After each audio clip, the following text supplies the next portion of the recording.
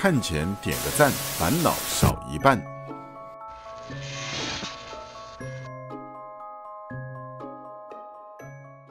大家好，我是你们的老朋友奥雷，今天继续带来台湾秘密档案系列。本期故事叫针眼教授。四十五岁的中国杨是某大学教授，有着不菲收入以及较高社会地位的他，是许多大龄女性梦寐以求的理想伴侣。可奇怪的是，在结婚生子方面，中国杨却并没有多大兴趣。每当有人试图牵线，他都会以工作为名谢绝对方的好意。因此，在旁人眼中，中国杨平日的生活十分枯燥乏味。不过，作为具有一定影响力的学者，不注重个人问题也不算是异类。毕竟，长期浸淫于研究工作的人，几乎都对研究以外的事提不起兴趣。更何况，中国杨还有一名养子，所以他在亲情方面其实并不算缺失。对于被中国杨这样的知名教授收养，杨子小波实在感到三生有幸。和一般的家长不同，中国杨在性教育方面毫不避讳，认为书比读有效，甚至还在小波高一生日那天送了小波一整盒避孕套，并提醒小波两性之间安全健康最重要。见中国杨如此开明，小波自然是感动不已。平时小波若是带女朋友回家，中国杨也会主动回避，从不问东问西，给了小波充足的私人空间。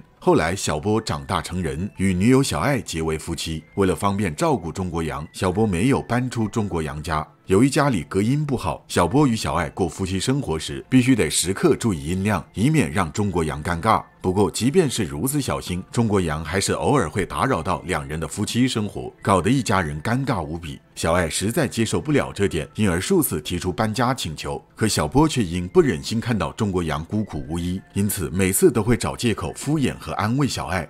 真灵是中国杨的学生之一，性情豪放、作风大胆的他，一直以自己的外表作为武器，经常通过诱惑手段从异性那里获得好处。中国杨虽然对爱情没有渴望，但并不代表他就没有欲望。见拗不过，中国杨便只好答应真灵，给他额外辅导，让他早日摆脱学渣这一标签。真灵的男友金城通过观察发现，中国杨好像并没有表面上那么正经。为了防止真灵吃亏，他也跟着参加了课外辅导，这让中国杨十分不满。原来中国羊的确有好色的一面，并且程度比一般人要严重的多。只要一有机会，他便会伺机偷窥女性，甚至连儿媳妇小爱都不放过。以前那几次无意闯入卧房，实际上都是因为中国羊偷窥太过入迷，而被小波和小爱无意发现了而已。只是两人都知道中国羊是正经人，所以根本不会往不好的地方去想，以为中国羊真的只是忘记敲门。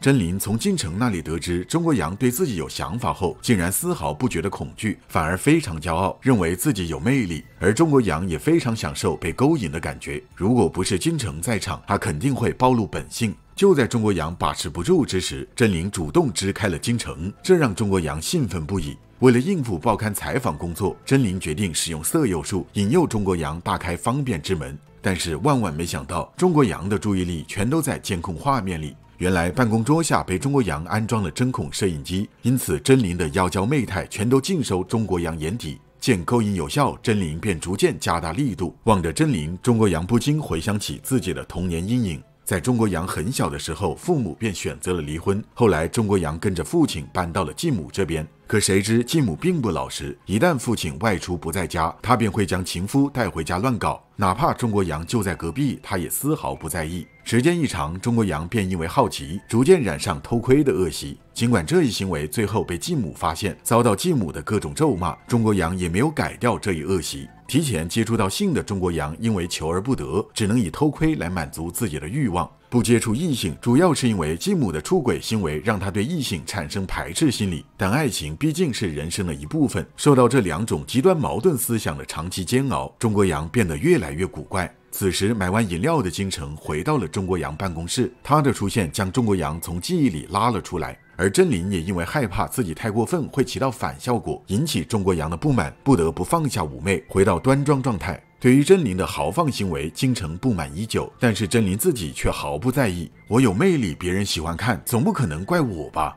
某天，真灵在如厕过程中意外发现自己遭到了变态的偷窥。由于发现的及时，变态并未看到什么。受真灵的叫声惊吓，变态飞也似的逃离了厕所。逃离过程中还遗失了用来偷窥的镜子，而镜子刚好被真灵捡到。另一边，小爱因为精神紧张，整天害怕被中国阳打扰，时间一久，竟做起噩梦，梦到中国阳私下伪装，强行闯入浴室，打算对他不轨。不过和之前一样，在小波的劝导下，小爱最终还是放弃了搬出去的打算。为了应付校刊专栏，真灵竟打算将同一篇文章发表三次，只要增减某些内容，再加上色诱术的辅助，那些教授肯定会睁一只眼闭一只眼。金城对这种取巧行为非常不耻，虽然他成绩和真灵一样差，每天也只知道研究明星、数码以及游戏，但是他从来不干投机取巧的事。面对金城的指责，真灵依旧不为所动。那些教授没有定力，评分标准随意浮动，他们的问题明显比我更大吧？京城嘴巴太笨，根本说不过真灵，因此只能提醒真灵要小心中国洋。别看中国洋整天西装革履，说不定背地里是个色狼。经过京城这一提醒，真灵将注意力放在了西装革履上。上次在厕所偷窥的变态穿的鞋子，好像跟中国洋穿的鞋子一模一样。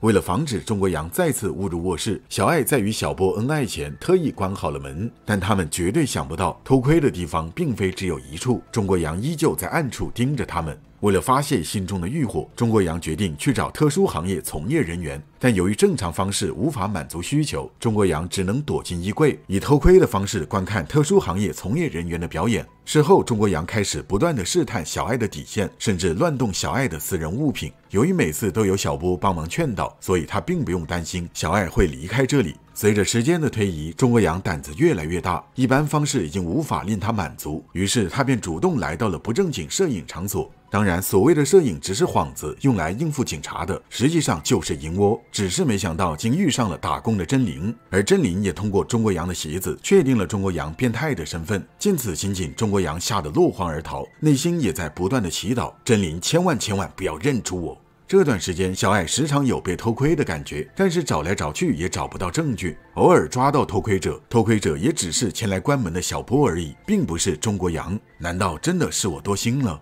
为了顺利完成学业，真灵再次找到中国阳，打算通过威胁方式获得高分。如果中国阳不肯，他就将中国阳在厕所偷窥一事公之于众。结果没想到，中国阳竟丝毫不为所动。镜子上面有很多人的指纹，并不能拿来当证据。而且中国阳的形象是正人君子，真灵又是出了名的为达目的不择手段，事情闹大肯定是中国阳占优。更不用说，中国阳还偷拍了不少真灵的私密影像，要挟手段他也是有的。见此情景，真灵只能服软，双方各退一步，就此算了。然而，中国羊怎会轻易放过真灵？如果真灵真的想及格，那他就得答应让中国羊偷窥。无奈之下，真灵只能同意让中国羊躲进衣柜里偷窥自己云雨的过程。金城对此毫不知情，在真灵的要求下，他上了真灵的床。只是没想到，中国洋在偷窥过程中竟然拿出了摄像机，并且还因为情绪过于激动，制造出了不小的动静。见京城靠近，中国洋不得不出手将京城打晕。虽然京城伤得不重，但由于此事经过太过劲爆，很快就被记者知晓。在记者的大肆宣扬下，中国洋的名声一落千丈，被学校解聘是肯定的。与其被解聘，不如自己主动离职，最起码这样比被赶走稍微好看点。